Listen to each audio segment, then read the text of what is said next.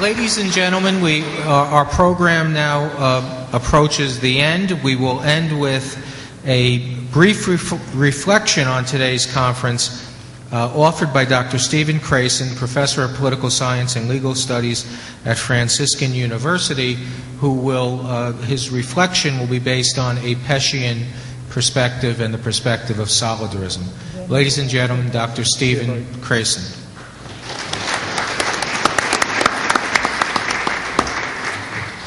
Well, as I told Dr. Varacalli, it would be very difficult to do a reflection if I didn't summarize what solidarism was about.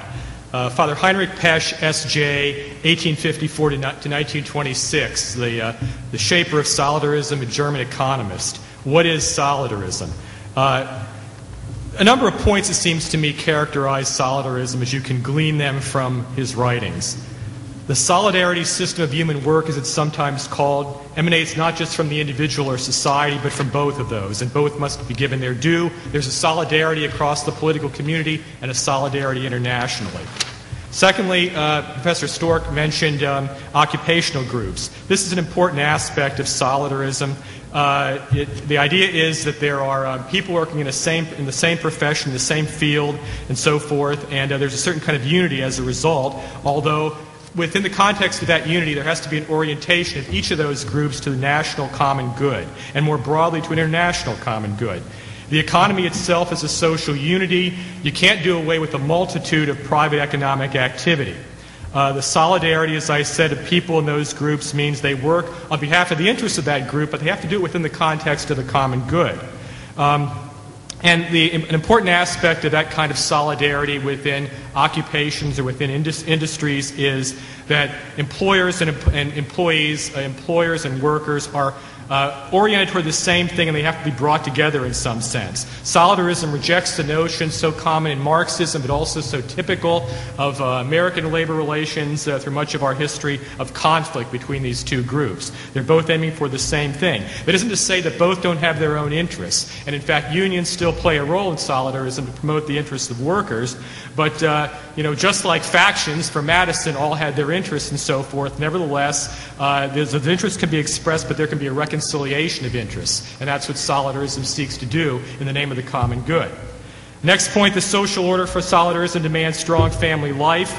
Uh, and the basic reason for that, when you think about the economy, is that um, uh, the family is the primary shaper of re- religion and virtue in new generations. This is the basis, as you've heard so much today, of a sound economic order. You have to have uh, people who are ethically oriented the right way.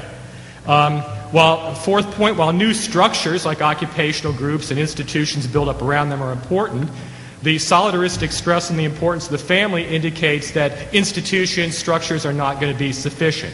Solidarism stresses the different kinds of justice that have to be present in economic life, in any social order social, distributive, legal justice, and so on. By the way, I find terms like social justice are very much misunderstood. A lot of people today confuse distributive justice with social justice.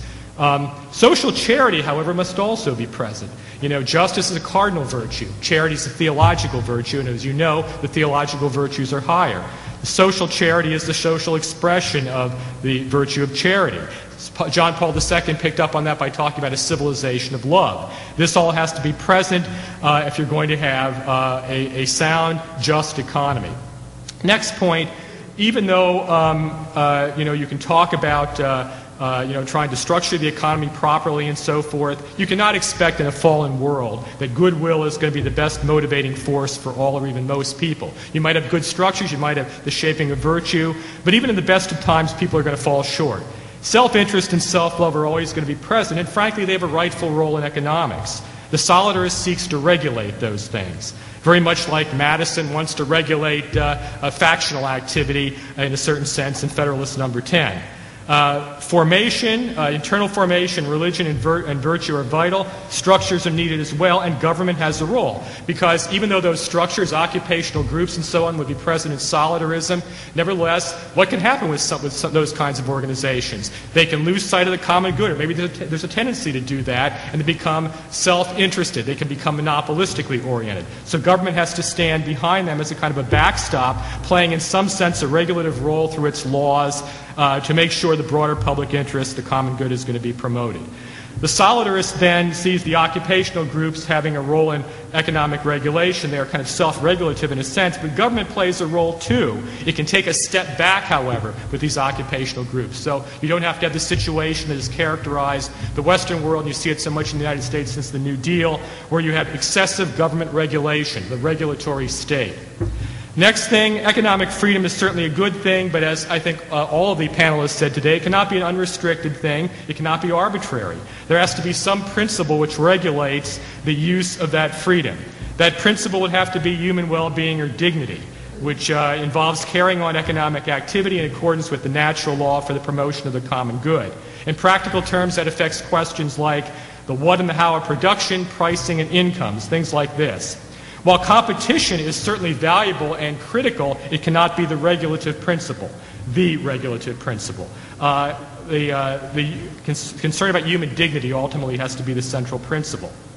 While the solidarist recognizes uh, that there are market forces and inclinations, the market is kind of a, a natural phenomenon, it, he would not accept as, that there are rigid laws uh, of economics. Uh, that, this would be a notion that, as far as the solidarist is concerned, would come from the Enlightenment.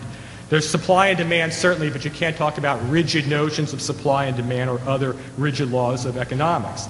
And as far as um, you know, something like um, capitalism is concerned, I think the solidarists would take the same view that John Paul II did.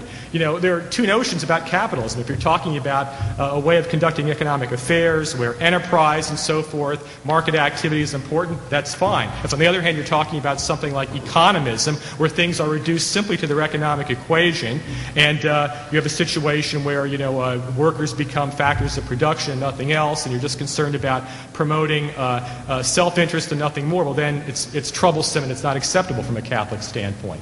The next point is the stress upon the social use of property, keeping with the classical Christian tradition. Best enunciated by Aristotle, but continuing through in the Christian tradition. The best arrangement for property is private ownership, social use. That is, an orientation toward the good of others in the community with the property that you have.